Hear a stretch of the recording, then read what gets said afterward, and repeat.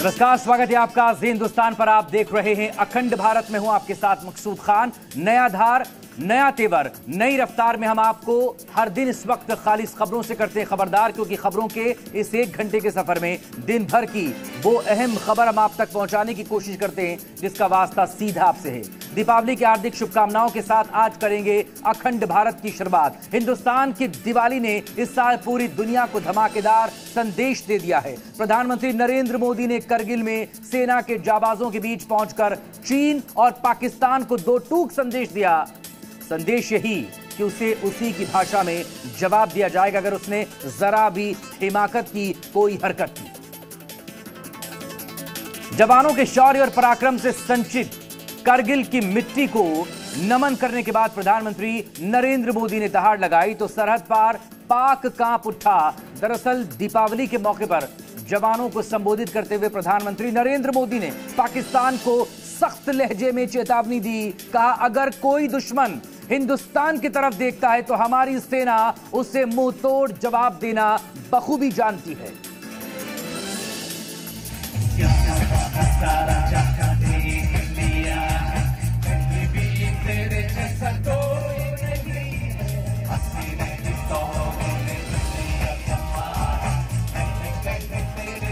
देश के जवानों के साथ पीएम मोदी के दीपावली सेलिब्रेशन को देखिए।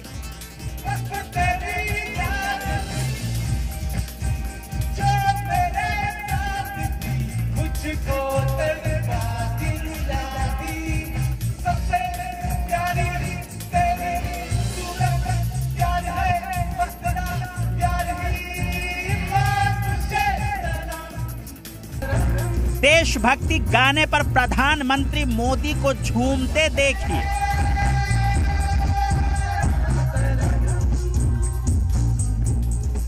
म्यूज़िक की धुन पर पीएम मोदी को दीपावली का जश्न मनाते देखिए।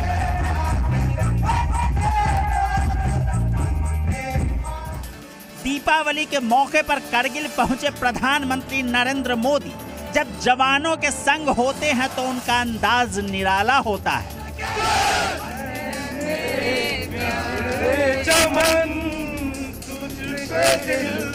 देशभक्ति के भाव से ओत प्रोत होने के साथ पीएम मोदी बॉर्डर पर तैनात जवानों में दीपावली की मिठास खोलकर उन्हें नई ऊर्जा और जोश भर देते हैं। क्षेत्र, भारतीय सेना के इस पराक्रम का बुलंद गवाह बन चुका है। प्रधानमंत्री नरेंद्र मोदी इस दिवाली जब कारगिल पहुँचे तो पीएम मोदी के पैर की धमक पाकिस्तान में भी सुनाई दी गई। लद्दाख से पीएम की ललकार सुना आतंकिस्तान हक्का बक्का रह गया। दिवाली के मौके पर पाकिस्तान को दी गई चेतावनी सुनकर नापाक धरती काँप उठी। इतना ही नहीं, प्रधानमंत्री मोदी ने 1999 के कारगिल युद्ध का ज़िक्र कर दिवाली के जश्न को और दोगुना कर दिया। कारगिल में हमारी सेना ने आतंक के फन को कुचला था और देश में जीत की ऐसी दिवाली मनी थी ऐसी दिवाली मनी थी कि लोग आज भी याद करते हैं। पाकिस्तान को उसकी औकात बताने के बाद प्रधानमंत्री नरेंद्र मोदी ने मेड इन इंडिया हथियारों का भी ज़िक्र किया। और रक्षा क्षेत्र में नए भारत की बढ़ती ताकत का दुनिया को एहसास कराया। देश की सुरक्षा का सबसे महत्वपूर्ण पहलू है आत्मनिर्भर भारत। भारतीय सेनाओं के पास आधुनिक स्वदेशी हथियार। विदेशी हथियारों पर विदेशी सिस्टम पर हमारी निर्भरता कम से कम हो। इसके लिए तीनों सेनाओं ने आत्मनिर्भरता का संकल्प लिया है। दिवाली के मौके पर कारगिल पहुँचे प्रधानमंत्री नरेंद्र मोदी। कुछ क्षण के लिए भावुक भी हो गए। जब पुरानी फ़ोटो प्रदर्शनी देखकर पीएम मोदी की 23 साल पुरानी यादें ताज़ा हो गईं। दरअसल 1999 में भारत पाक युद्ध के दौरान नरेंद्र मोदी कारगिल पहुँचे थे और घायल जवानों से मिलकर उनका हौसला अफजाई किया था। Bureau report, Zee Media. इधर हर बार की तरह इस बार भी उत्तर प्रदेश के मुख्यमंत्री योगी आदित्यनाथ ने अपनी दिवाली वनटांगिया समूह के लोगों के साथ मिलकर मनाई। इस मौके पर योगी ने वनटांगिया समुदाय को करोड़ों का तोहफा भी दिया। उत्तर प्रदेश के मुख्यमंत्री योगी आदित्यनाथ ने प्रदेश के सभी नागरिकों को दीपावली पर्व की हार्दिक शुभकामनाएँ दी है। योगी ने ट्वीट किया कि उत्साह और हर्ष के आलोक से हर घर आलोकित हो। यही दीपावली का उद्देश्य है। सभी माननीय जनप्रतिनिधि, अधिकारी और कर्मचारी गण से अपील है कि ये दीपावली किसी वंचित या जरूरतमंद परिवार के साथ भी मनाएँ। हमारा प्रयास रहे कि आज हर घर समरसता के भाव से दीप्त हो चहुओ रामत्व हो। जय सिया राम।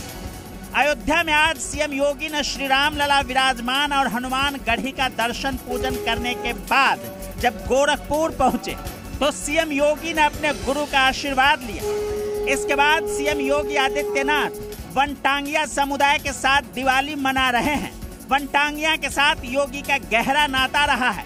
साल 2009 से वो लगातार गोरखपुर के वनटांगिया समुदाय के साथ दीपावली मनाते आए हैं। वनटांगिया समुदाय को सीएम योगी ने आज 80 करोड़ रुपए की विकास परियोजनाओं का तोहफा भी दिया। सीएम योगी 37 करोड़ रुपए और 43 करोड़ रुपए की परियोजनाओं का उद्घाटन किया।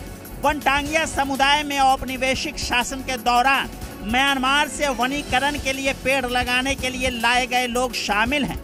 राज्य में सत्ता की बागडोर संभालने के बाद ही योगी ने अधिकारियों को, समुदाय के सदस्यों को सामाजिक मुख्य धारा में लाने के लिए कदम उठाने का निर्देश दिया था। यही वजह है कि गोरखपुर और महाराजगंज के करीब तेईस वनटांगिया गाँव अब विकास की मुख्य धारा में है। Bureau report, Zee Media. इधर दिवाली के शुभ अवसर पर ब्रिटेन में हिंदुस्तान को बड़ा गिफ्ट दिया है। भारतीय मूल के ऋषि सुनक ब्रिटेन के प्रधानमंत्री चुने गए हैं। अद्भुत संयोग तो ये कि हिंदुस्तान की आज़ादी के अमृत वर्ष में ये ऐतिहासिक खबर निकलकर सामने आई। ये पहला मौका है जब कोई भारतवंशी ब्रिटेन का प्रधानमंत्री बना है। कंजर्वेटिव पार्टी के संसदीय दल ने सुनक को नेता चुना। अब 28 अक्टूबर को सुनक प्रधानमंत्री पद की शपथ लेंगे।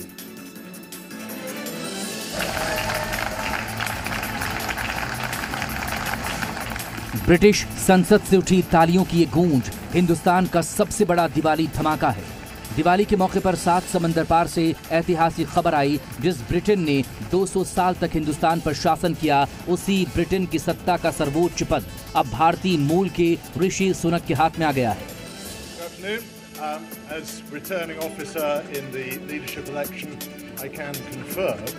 uh, that we have received one valid nomination.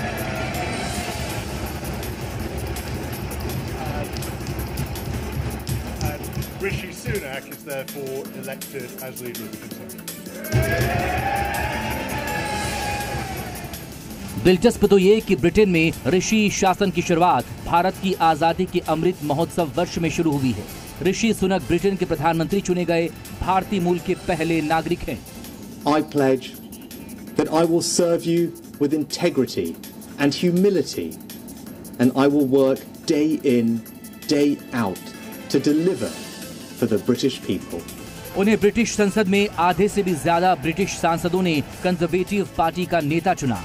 पूर्व प्रधानमंत्री बोरिस जॉनसन भी ब्रिटिश पीएम पद के दावेदारों में से एक थे, लेकिन सांसदों ने उन्हें नकार दिया। जॉनसन ने बीती रात ही साफ़ कर दिया कि वो प्रधानमंत्री की रेस से बाहर हो रहे हैं।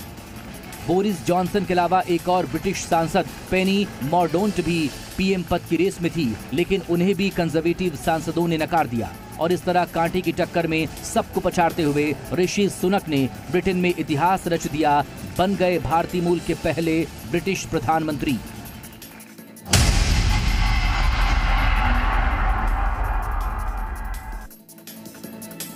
दिवाली की धमाकेदार शुरुआत एक दिन पहले ऑस्ट्रेलिया में ही हो गई थी, जहाँ पर मेलबॉर्न स्टेडियम में टी ट्वेंटी वर्ल्ड कप में टीम इंडिया ने पाकिस्तान को साँसें रोक देने वाले मुकाबले में बेरहमी से हरा दिया। नतीजा इस दिवाली पूरा पाकिस्तान मातम में डूबा नज़र आ रहा है।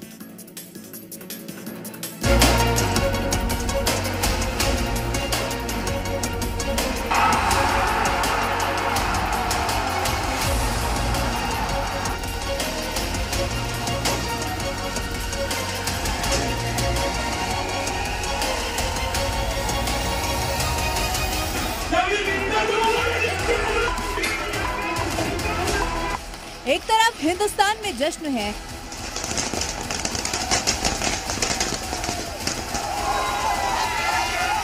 छोटी दीपावली के दिन ही यहाँ दिवाली के कोटे वाला पटाखा फोड़ डाला गया।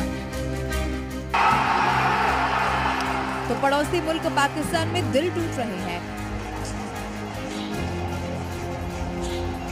टीवी फूट रहे हैं। मेलबर्न में टी ट्वेंटी वर्ल्ड कप में भारत ने आखिरी गेंद में जो विराट जीत दर्ज की उससे पाकिस्तान मातम के महासागर में डूब गया है।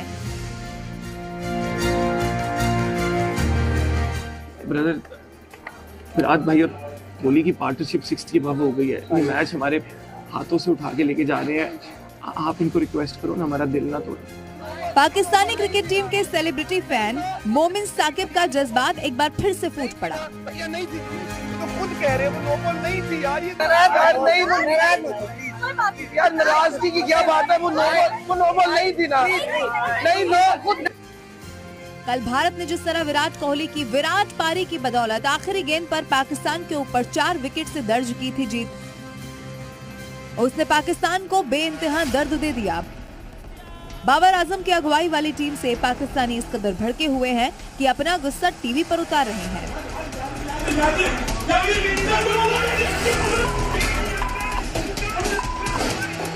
टी ट्वेंटी वर्ल्ड कप में भारत के हाथों मिली मात से। किस तरह पाकिस्तान में मातम पसरा है उसकी जीती जागती गवाही ये तस्वीरें दे रही हैं।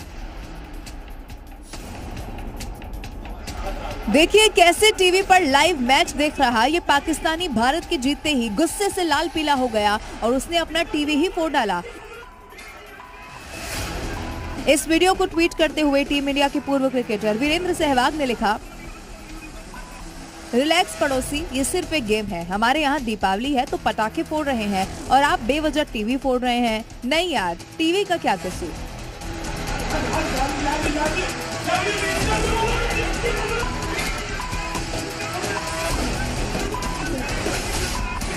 वीरेंद्र सहवाग ने एक और ट्वीट में लिखा पड़ोसियों से गुजारिश है कि आप लोग रोना बंद कर दीजिए। तो पूर्व भारतीय क्रिकेटर इरफान खान ने भी पाकिस्तानियों के खूब मज़े लेते हुए ट्वीट किया, पड़ोसियों संडे कैसा रहा? मेलबर्न में साँसें रोक देने वाले इस मुकाबले में भारत ने ऐसी ज़बरदस्त जीत दर्ज की कि पूर्व क्रिकेटर तक नाच उठे। सुनील गावस्कर के श्रीकांत इरफान पठान स्टेडियम में ही झूमने लगे।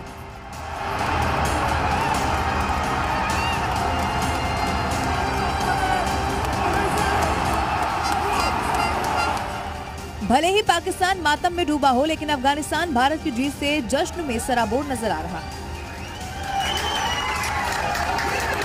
टीवी देख रहे अफगानिस्तानी भारत के जीतते ही झूमने लगे और तालियाँ बजाकर जश्न मनाते दिखे।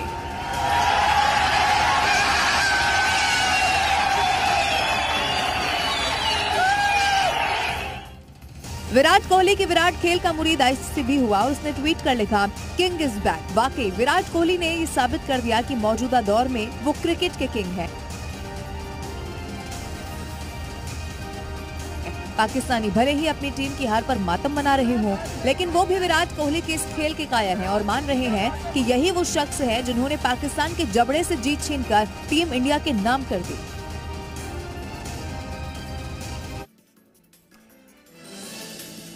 दीपावली पर्व दिल्ली में भी उत्साह के साथ मनाया जा रहा है, लेकिन यहाँ प्रदूषण का स्तर बढ़ने से फ़िक्र भी बढ़ गई है।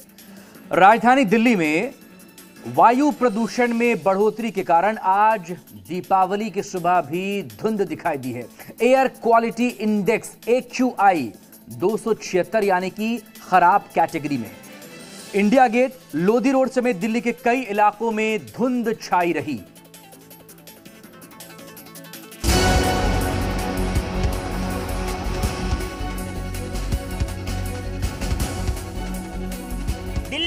रविवार के मुकाबले दिवाली के दिन, यानी कि सोमवार को भी प्रदूषण का स्तर पहले के मुकाबले बढ़ गया। आज दिवाली पर एक बार फिर दिल्ली में जहरीली हवा का प्रकोप है। दिल्ली में प्रदूषण आज भी हाई लेवल पर है। आज दिल्ली का ए क्यू आई तीन तक पहुँच सकता है। पाबंदी के बावजूद राजधानी में जमकर पटाखे जलाए जा रहे हैं। आतिशबाजी की वजह से दिल्ली की 35 निगरानी केंद्रों में आधे से ज़्यादा पर वायु की गुणवत्ता बेहद खराब श्रेणी में दर्ज की गई। आनंद विहार केंद्र में प्रदूषण का गंभीर स्तर दर्ज किया गया जबकि गाजियाबाद में एक यू आई तीन सौ दो नोएडा में 302, ग्रेटर नोएडा में दो गुरुग्राम में दो सौ इकहत्तर और फरीदाबाद में दो सौ छप्पन वायु गुणवत्ता दर्ज की गई जो कि बेहद ही खराब श्रेणी में आती है। ये आंकड़ा रात में अभी हो रही आतिशबाजी से पहले की है। लिहाजा कल सुबह दिल्ली एनसीआर की वायु की गुणवत्ता की स्थिति का अंदाज़ा सहज ही लगाया जा सकता है। इस बार दिवाली में दिल्ली सरकार ने पटाखे जलाने को लेकर बिक्री तक पर पूर्ण रूप से प्रतिबंध लगाया है। सजा और जुर्माने का भी प्रावधान किया गया है। लेकिन एक्सपर्ट्स का कहना है कि अगर इस बार दिवाली पर पटाखे जलाए गए तो प्रदूषण का रिकॉर्ड पिछले साल के मुकाबले ज़्यादा होगा। उधर दिवाली के खास मौके पर दिल्ली मेट्रो के वक्त में भी बदलाव किया गया है। सभी टर्मिनलों से रात के 10 बजे ही आखिरी मेट्रो चलेगी। अगर यूपी के जालौन में दीपावली के दिन एक परिवार में मातम पसर गया, यहाँ पर दो साल का बच्चा करंट की चपेट में आ गया। और इसे बचाने के चक्कर में माँ भी उस करंट की चपेट में आ गई। आनंद फानंद में माँ को सामुदायिक स्वास्थ्य केंद्र कालपी में दाखिल करवाया गया, जहाँ डॉक्टरों ने उसे भी मृत घोषित कर दिया। काबू पाया, दिवाली से ठीक पहले दुकान में आग लग जाने से एक गरीब दुकानदार का सारा सामान जलकर खाक हो गया। उसकी सारी पूंजी खत्म हो गई। ठीक इसी तरह यूपी के कासगंज में सिलेंडर फटने की घटना सामने आई है, जिसके चलते एक शख्स की मौत हो गई, जबकि तीन महिलाएँ गंभीर रूप से घायल हो गई हैं। पुलिस के मुताबिक खाना बनाते समय सिलेंडर फटने के बाद मकान का लेंटर भर भरा कर नीचे गिर गया, जिसके चलते मलबे में दबने से सुदय वीर की मौके पर ही मौत हो गई यूपी के गोंडा में भी दीपावली से पहले उस वक्त हड़कंप मच गया, जब नवाबगंज मोहल्ले में खाना बनाते समय एक घर में अचानक बड़ा धमाका हुआ, जिससे इमारत की छत एकाएक नीचे ढह गई। इस घटना में एक महिला की मौत हो गई, जबकि उसका बेटा गंभीर रूप से घायल हो गया, जिसे बेहतर इलाज के लिए गोंडा से लखनऊ रेफर किया गया है। हालाँकि घर में ये धमाका कैसे हुआ, पुलिस इसकी पड़ताल में जुटी है। जी मीडिया, ब्यूरो और अब फटाफट अंदाज में अखंड भारत की कुछ और दिलचस्प खबरें।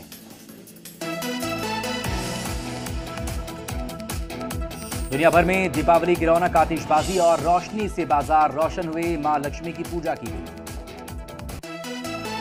अमृतसर में दीपावली का जश्न, दिवाली के मौके पर आतिशबाजी की गई। श्रीनगर में दिवाली पर सेना के जवानों ने जश्न मनाया, जवानों ने पटाखे जलाकर मनाई खुशियाँ। दिवाली के मौके पर जवानों की आतिशबाजी सीआरपीएफ के जवानों ने एक दूसरे को बधाई दी। श्रीनगर में सीआरपीएफ के जवानों ने बनाई बेहद खूबसूरत रंगोली, दीप जलाकर खुशियाँ मनाई। दीपावली के मौके पर लोगों ने मनाया जश्न, लोगों ने हवा में हॉट पेपर एयर बलून छोड़ा, अद्भुत नज़ारा दिखा। दिल्ली के कनॉट प्लेस पर दिखा बेहद खूबसूरत नज़ारा, पूरे इलाके में खास लाइटिंग की गई। दिवाली के मौके पर ऑस्ट्रेलिया का सिडनी में जश्न, सिडनी के ओपेरा हाउस को सजाया गया, बेहद खूबसूरत नज़ारा दिखा। पश्चिम बंगाल की राजधानी कोलकाता में काली पूजा की धूम, ममता बनर्जी ने कालीघाट स्थित अपने आवास पर काली पूजा की। त्रिपुरा की राजधानी अगरतला में मुख्यमंत्री माणिक शाह ने पूजा अर्चना की, सीएम ने माता त्रिपुरेश्वरी मंदिर में दर्शन भी किए।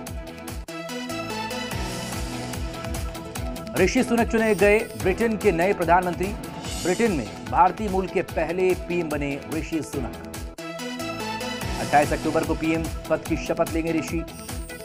पीएम पद की रेस में पेनी मॉर्डोंट ने अपना नाम वापस लिया। जम्मू कश्मीर के पुंछ में बर्फबारी के बीच एलओसी पर डटे भारतीय सेना के जवान। दस हज़ार फीट की ऊंचाई पर बर्फ़ में लगा रहे हैं गश्त। शिवसेना के मुखपत्र सामना में बड़ा दावा, दिवाली के बाद महाराष्ट्र में फूटेगा बॉम्ब, शिंदे गुट के 22 एमएलए बीजेपी में शामिल होंगे। बीजेपी ने खबर को बताया बेबुनियाद। बंगाल में दिखेगा चक्रवाती तूफ़ान, सितरंग का प्रभाव। आईएमडी ने जारी की चेतावनी, प्रशासन अलर्ट, रेस्क्यू टीमें तैयार।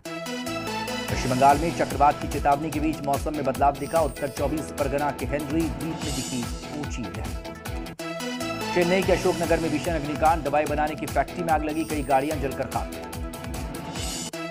गुजरात के राजकोट में कॉटन फैक्ट्री में मजदूरों के बीच मारपीट, एक मजदूर ने दूसरे मजदूर को पीट पीट कर मार दिया, पुलिस ने आरोपी को गिरफ़्तार किया। 26 अक्टूबर को बंद होंगे गंगोत्री धाम के कपाट कपाट बंद करने की तैयारियाँ शुरू 27 अक्टूबर को मुखी मठ पहुंचेगी उत्सव डूबी पाकिस्तान के पूर्व प्रधानमंत्री इमरान खान की याचिका खारिज, इस्लामाबाद हाईकोर्ट ने इमरान की याचिका को खारिज किया। पाक चुनाव आयोग के फैसले को इमरान खान ने चुनौती दी थी। ईसी ने इमरान पर चुनाव लड़ने पर बैन लगाया। पाकिस्तानी पत्रकार की केनिया में हत्या, अरशद शरीफ की गोली मारकर हत्या कर दी गई। ए आर वाई न्यूज़ से जुड़े थे अरशद शरीफ। पाकिस्तान से बाहर रह रहे थे अरशद। अरशद पर चल रहा था देशद्रोह का मुकदमा। मध्य प्रदेश के शिवपुरी में जिला शिक्षा अधिकारी सस्पेंड। टीचर्स के साथ बातचीत के विवादित ऑडियो पर कार्रवाई हुई। डीपीआई ने जारी किया आदेश। ग्वालियर में अट्ठावन साल के टीचर की शर्मनाक करतूत प्राइमरी क्लास की छात्राओं से अश्लील हरकतें करता था आरोपी टीचर गिरफ़्तार। डीएम ने क्या बता? मध्य प्रदेश के दतिया में दर्दनाक सड़क हादसा। ज्ञात वाहन ने स्कूटी को टक्कर मारी। चार लोगों की मौत। दिवाली मनाने घर जा रहे थे केरल के नौ यूनिवर्सिटीज के कुलपतियों ने राज्यपाल वाले इस्तीफे के आदेश को हाईकोर्ट में चुनौती दी। राज्यपाल मोहम्मद आरिफ ने सभी वीसी को कारण बताओ नोटिस भेजा।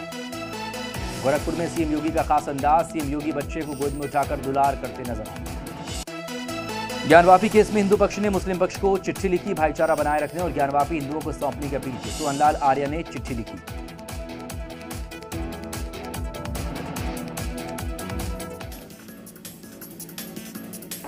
एक छोटे से ब्रेक के लिए फ़िलहाल अखंड भारत में यहाँ रुकेंगे। ब्रेक से लौटकर आपको दिखाएँगे दिवाली पर अग्नि संग्राम, हिंगोट की चोट से विस्फोट, एक शहर जहाँ होती है काली दिवाली।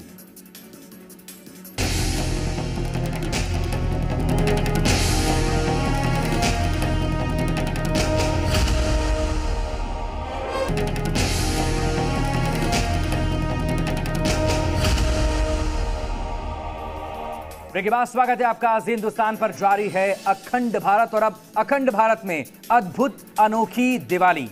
दिवाली एक ऐसा त्योहार है जो अच्छाई पर, जो बुराई पर अच्छाई के जीत के प्रतीक के तौर पर मनाई जाती है। लेकिन विविधता से भरे हिंदुस्तान में इसके कई रंग हैं। गोवा से लेकर उड़ीसा तक आज हम आपको दिखाएँगे अद्भुत अनोखी दिवाली।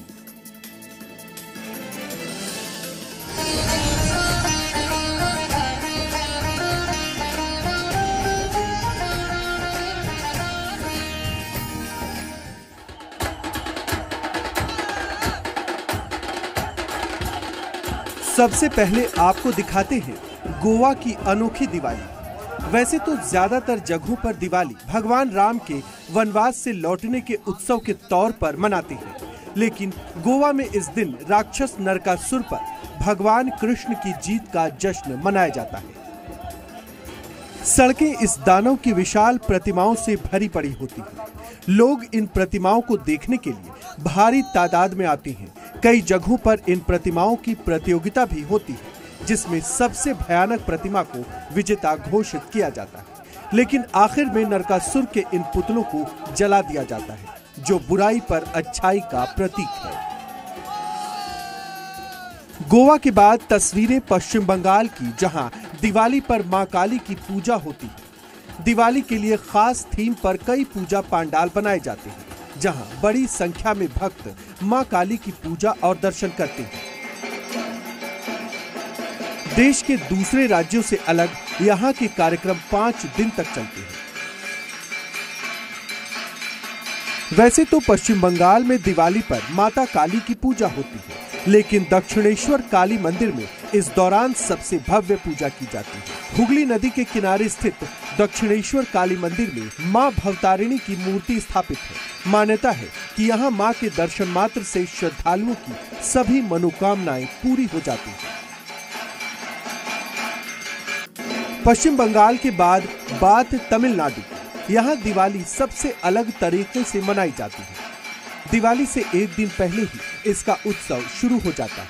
लोग सुबह सवेरे तिल के तेल से स्नान करते हैं और फिर नए कपड़े पहनकर और पटाखे फोड़कर दिवाली का जश्न मनाते हैं। मतलब ये कि यहाँ आतिशबाजी के लिए रात का इंतज़ार नहीं करना पड़ता।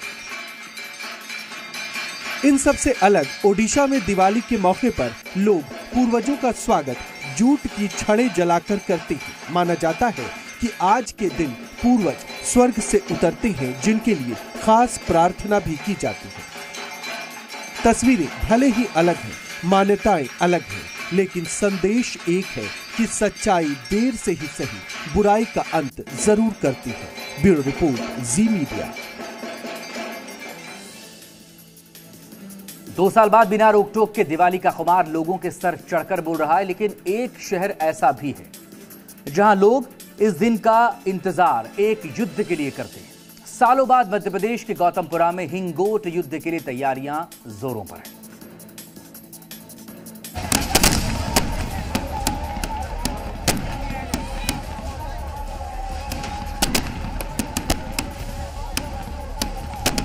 दिवाली के दूसरे दिन हिंगोट युद्ध।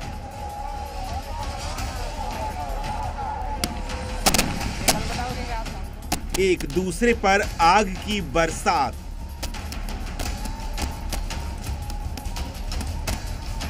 परंपरा के लिए आग का खेल। दीपावली यानी रोशनी का त्योहार। देश भर में दीपावली के मौके पर रंग बिरंगी रोशनी और सजावट तो आपने देखी होगी, लेकिन ये तस्वीर आपको सिर्फ़ मध्य प्रदेश में देखने को मिलेगी।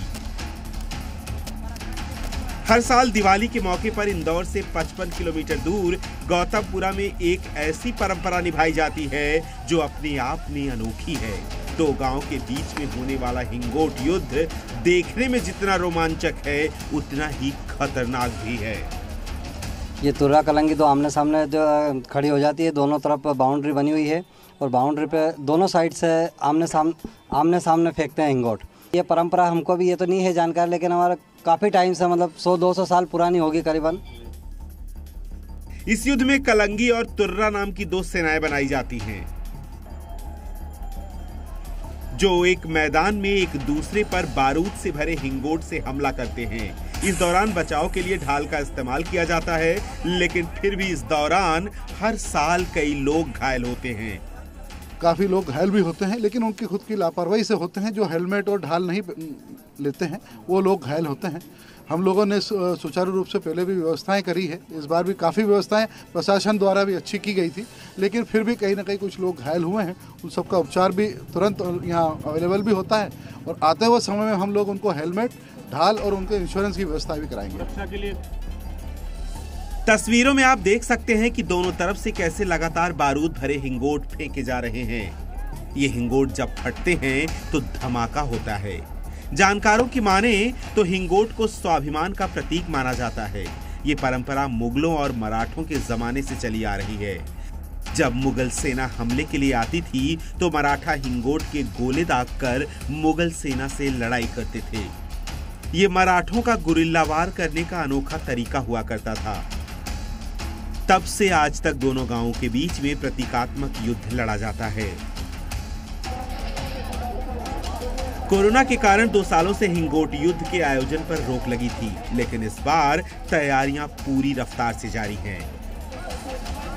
लड़ाई में हिस्सा लेने वालों को दो सेनाओं में बांटा जाता है, कलंगी और तुर्रा, और इनका हथियार होता है हिंगोट। आप सोच रहे होंगे कि ये हिंगोट आखिर क्या होता है। दरअसल हिंगोट हिंगोरिया नाम के जंगली पेड़ का फल होता है, जिसका बाहरी खोल बेहद सख्त होता है। नुकीले औजारों से फल का गूदा निकाल लिया जाता है और फिर उसमें बारूद भरा जाता है। बारूद भरने के बाद हिंगोट को पीली मिट्टी की मदद से बंद कर दिया जाता है। यहाँ एक मंदिर है, देव मंदिर है।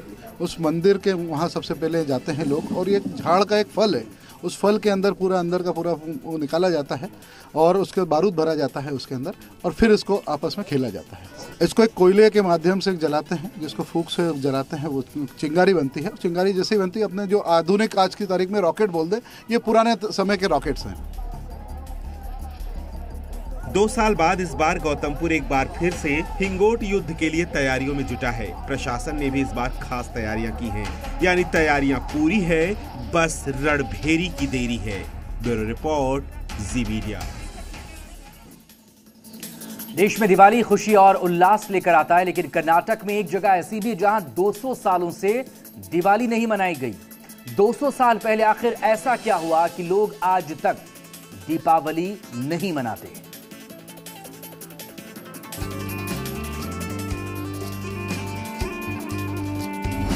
मेलकोटे में काली दिवाली। 200 साल से नहीं मनाई गई दिवाली।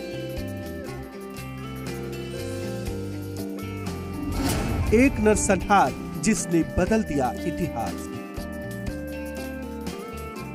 दीपावली पर पूरा देश दियों की रोशनी से जगमग है, लेकिन देश में एक गाँव ऐसा भी है, जहाँ इस दिन लोग खुशी नहीं, अपनों के खोने का मातम मनाते हैं।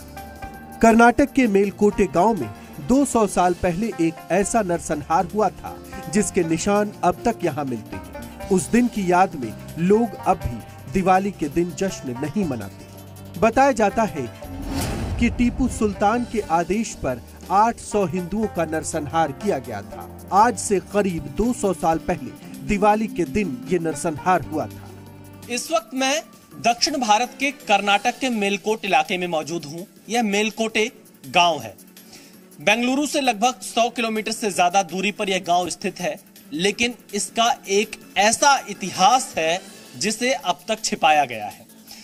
दरअसल, इस मेलकोटे गाँव में आयंगर ब्राह्मणों को बड़ी संख्या में टीपू सुल्तान ने मार दिया था। कई सौ वर्ष पुरानी यह घटना है, जिसे कभी भी इतिहास के पन्नों में जगह नहीं दी गई। पीढ़ी दर पीढ़ी मेलकोटे गाँव के लोग अपना ये इतिहास संजो कर रखते चले आए हैं। दिवाली के दिन खुशियों की बजाय मातम मनाकर ये लोग टीपू सुल्तान के उस अत्याचार को याद करते हैं। वो उनका मकसद था कि वो अपना मुस्लिम मत को पूरा फैलाना और दूसरा मत को नाश करना वही उनका मकसद था। टीपू सुल्तान ने नरसंहार क्यों किया? असल जो जो क्या? धर्म धर्म के आधार से मतांध है आप सबको मालूम ही है। तो ये वैष्णवों को करेंगे तो पूर्ण रूप में हमारे लिए पूर्ण रूप में अवकाश मिल जाएगा क्योंकि वैष्णव इतना मत प्रचार करते थे हिंदू का। तो ये सनातन धर्म के लिए नाश करने के लिए यही मूल है। ऐसा करके उनको इतने लोगों को पूर्ण रूप में कदम मेलकोटे गाँव की हर गली में उस दिन हुए नरसंहार की कहानी सुनने को मिलती है। जी मीडिया को एक ऐसा ही परिवार मिला जिनके पूर्वजों ने उस नरसंहार में अपनी जान गंवाई थी। हमारे परिवार में जो पूर्वज थे उन्हें ये जो टीपू सुल्तान है, उसने मौत की घाट उतार दिया हमें, हमारे पूर्वजों को। ये जो अयंगार ब्राह्मणों का हत्याकांड हुई है, ये हुआ था नरक चतुर्दशी के दिन, दीपावली के नरक चतुर्दशी के दिन हुआ था ये कत्लेआम। और ये हुआ था श्रीरंगपट्टनम के नरसिंह जी की मंदिर के ठीक सामने, एक मैदान था। उधर नरसंहार हुआ था अयंगार ब्राह्मणों का। बताया जाता है कि ये नरसंहार तीन दिन तक चला था, जिस दौरान सैकड़ों हिंदुओं की हत्या कर दी गई। इस गाँव के रहने वाले ज़्यादातर लोग आयंगर ब्राह्मण हैं। यहाँ के लोगों का कहना है कि टीपू सुल्तान जबरन धर्म परिवर्तन करवाना चाहता था। जिन लोगों ने इसका विरोध किया, उनकी आवाज़ हमेशा के लिए दबा दी गई। नरक चतुर्दशी के दिन बच्चे, महिलाएँ और बूढ़ों को भी मंदिर के पास बुलाकर टीपू सुल्तान ने मरवा दिया था। उस दिन के बाद से मेल कोटे में दीपावली नहीं मनाई जाती। कई इतिहासकारों का ये भी मानना है कि टीपू सुल्तान के बारे में कई तथ्य छिपाए गए हैं। पूरी कम्युनिटी को केवल इस आधार पर कि उसके कुछ लोग उसके मुताबिक नहीं चल रहे हैं, उसके मनोनुकूल नहीं हैं, उस पूरी कम्युनिटी को जिसमें महिलाएँ हैं, जिसमें बच्चे हैं, उनके साथ अत्याचार करना, उनके साथ अनाचार करना और उनके जीवन को समाप्त कर देना, उनको यातना और प्रताड़ना देकर मार डालना, ये ये इतना अमानवीय, क्रूर और बर्बर एक्ट है, जिसकी मिसाल मिलना कठिन है। इतिहास में टीपू सुल्तान को अंग्रेज़ों से लोहा लेने वाले योद्धा के रूप में याद किया जाता है। लेकिन मेल कोटे की कहानी से इतना तो साफ़ है कि कई राज अब भी पर्दे के पीछे दफन हैं। Bureau report, Zee Media. देश आज दीपावली मना रहा है, लेकिन छत्तीसगढ़ में एक जगह ऐसी भी है। एक हफ़्ते पहले ही यहाँ पर दिवाली मना ली गई। हर साल यहाँ सात दिन पहले ही दीपावली का उत्सव शुरू हो जाता है। देखिए सेमरा की इस अनोखी दिवाली के रंग।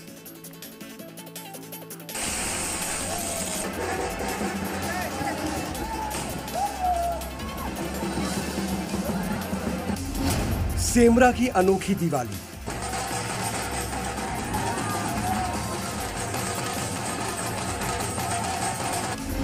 एक हफ़्ते पहले ही दिवाली।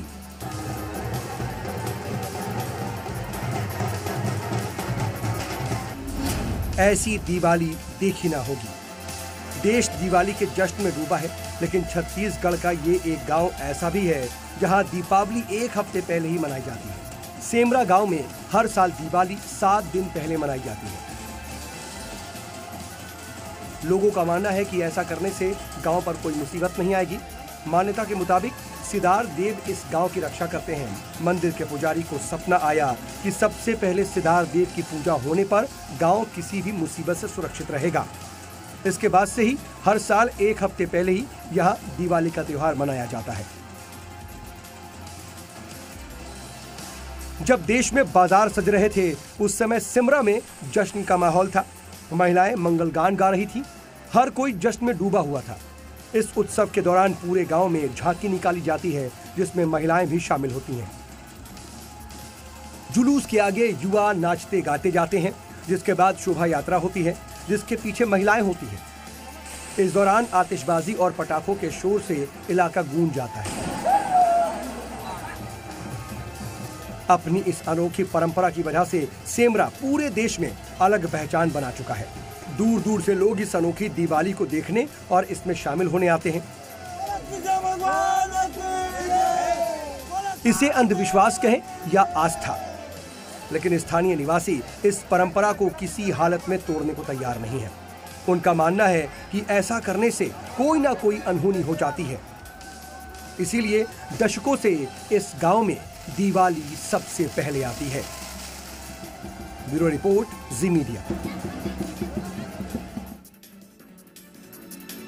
हर बार की तरह इस बार भी उत्तर प्रदेश के मुख्यमंत्री योगी आदित्यनाथ ने अपनी दिवाली वनटांगिया समूह के लोगों के साथ मनाई। इस मौके पर योगी ने वनटांगिया समुदाय को करोड़ों का तोहफा भी दिया। उत्तर प्रदेश के मुख्यमंत्री योगी आदित्यनाथ ने प्रदेश के सभी नागरिकों को दीपावली पर्व की हार्दिक शुभकामनाएँ दी है। योगी ने ट्वीट किया कि उत्साह और हर्ष के आलोक से हर घर आलोकित हो। यही दीपावली का उद्देश्य है। सभी माननीय जनप्रतिनिधि, अधिकारी और कर्मचारी गण से अपील है कि ये दीपावली किसी वंचित या जरूरतमंद परिवार के साथ भी मनाएँ। हमारा प्रयास रहे कि आज हर घर समरसता के भाव से दीप्त हो, चहुओ रामत्व हो। जय सिया राम। अयोध्या में आज सीएम योगी ने श्री राम लला विराजमान और हनुमान गढ़ी का दर्शन पूजन करने के बाद जब गोरखपुर पहुँचे तो सीएम योगी ने अपने गुरु का आशीर्वाद लिया। इसके बाद सीएम योगी आदित्यनाथ वनटांगिया समुदाय के साथ दिवाली मना रहे हैं। वनटांगिया के साथ योगी का गहरा नाता रहा है। साल 2009 से वो लगातार गोरखपुर के वनटांगिया समुदाय के साथ दीपावली मनाते आए हैं। वनटांगिया समुदाय को सीएम योगी ने आज 80 करोड़ रुपए की विकास परियोजनाओं का तोहफा भी दिया। सीएम योगी 37 करोड़ रुपए और 43 करोड़ रुपए की परियोजनाओं का उद्घाटन किया। वनटांगिया समुदाय में औपनिवेशिक शासन के दौरान म्यांमार से वनीकरण के लिए पेड़ लगाने के लिए लाए गए लोग शामिल हैं। राज्य में सत्ता की बागडोर संभालने के बाद ही योगी ने अधिकारियों को, समुदाय के सदस्यों को सामाजिक मुख्य धारा में लाने के लिए कदम उठाने का निर्देश दिया था। यही वजह है कि गोरखपुर और महाराजगंज के करीब तेईस वनटांगिया गाँव अब विकास की मुख्य धारा में है। Bureau report, Zee Media.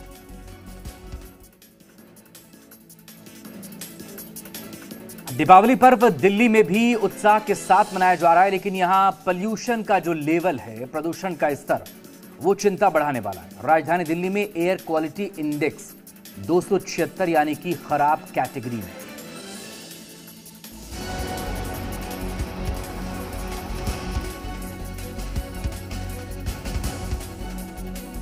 Delhi में रविवार के मुकाबले दिवाली के दिन, यानी कि सोमवार को भी प्रदूषण का स्तर पहले के मुकाबले बढ़ गया। आज दिवाली पर एक बार फिर दिल्ली में जहरीली हवा का प्रकोप है। दिल्ली में प्रदूषण आज भी हाई लेवल पर है। आज दिल्ली का एक क्यू आई तीन तक पहुँच सकता है। पाबंदी के बावजूद राजधानी में जमकर पटाखे जलाए जा रहे हैं। आतिशबाजी की वजह से दिल्ली की 35 निगरानी केंद्रों में आधे से ज़्यादा पर वायु की गुणवत्ता बेहद खराब श्रेणी में दर्ज की गई। आनंद विहार केंद्र में प्रदूषण का गंभीर स्तर दर्ज किया गया जबकि गाजियाबाद में एक यू आई तीन सौ दो नोएडा में 302, ग्रेटर नोएडा में दो गुरुग्राम में दो सौ इकहत्तर और फरीदाबाद में दो सौ छप्पन वायु गुणवत्ता दर्ज की गई जो कि बेहद ही खराब श्रेणी में आती है। यह आंकड़ा रात में अभी हो रही आतिशबाजी से पहले की है। लिहाजा कल सुबह दिल्ली एनसीआर की वायु की गुणवत्ता की स्थिति का अंदाज़ा सहज ही लगाया जा सकता है। इस बार दिवाली में दिल्ली सरकार ने पटाखे जलाने को लेकर बिक्री तक पर पूर्ण रूप से प्रतिबंध लगाया है। सजा और जुर्माने का भी प्रावधान किया गया है। लेकिन एक्सपर्ट्स का कहना है कि अगर इस बार दिवाली पर पटाखे जलाए गए तो प्रदूषण का रिकॉर्ड पिछले साल के मुकाबले ज़्यादा होगा। उधर दिवाली के खास मौके पर दिल्ली मेट्रो के वक्त में भी बदलाव किया गया है। सभी टर्मिनलों से रात के 10 बजे ही आखिरी मेट्रो चलेगी।